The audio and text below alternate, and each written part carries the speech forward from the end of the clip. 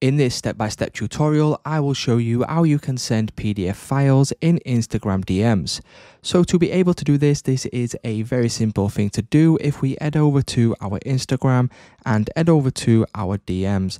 If we go over to the person that we want to send a PDF to, what you will notice is that there is not actually a way to do this inside the Instagram app. But don't worry, I will show you how you can get around this and how you can send a file.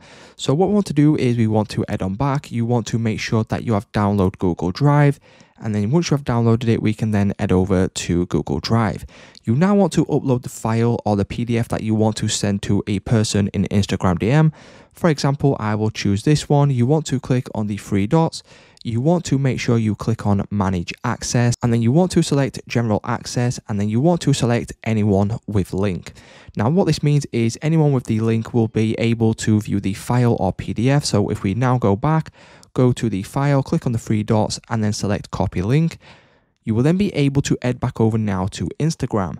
Once you do this, go to the person that you want to send the PDF file to, click on the message option, and then you want to paste the link into the message box.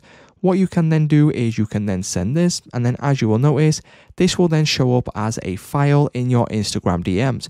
So it's just that simple, guys. That's the only way that you can send a PDF file directly on Instagram at the moment. If this video did help you out, please leave a like on today's video, and I will see you in the next one.